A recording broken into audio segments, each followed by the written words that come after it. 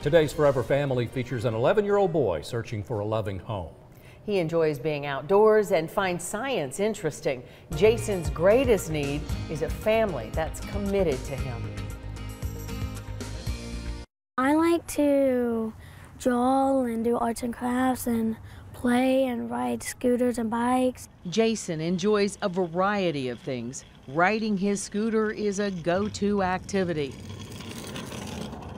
Simply being outdoors whenever he can be is how he likes to cope.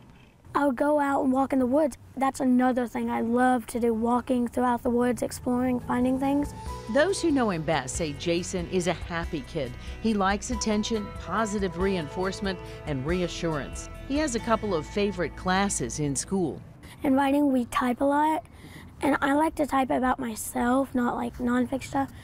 And I type a lot of stories about myself and biographies and stuff. Jason's interest in science includes a fascination with the untold stories of the ER. And I've watched them like, ooh, that's very interesting how they do all the needles and stuff.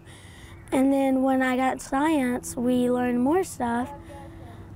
And then I realized that I think that would be a good job for me. For now, this future ER doctor has a simple wish. I like to just have a good time with a family.